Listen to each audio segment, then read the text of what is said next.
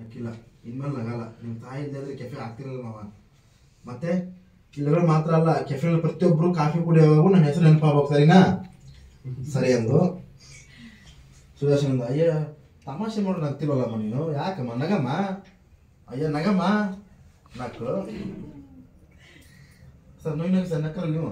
Action? ನಕ್ಕರು cut okay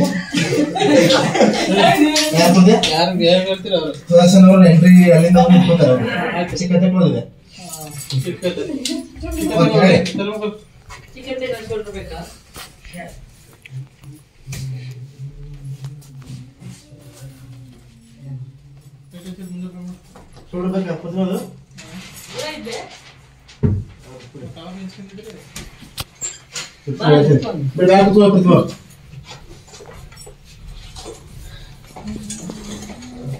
ಅಂದ್ರೆ ಯಾಕೆ ಜ್ವರ ಬಂತು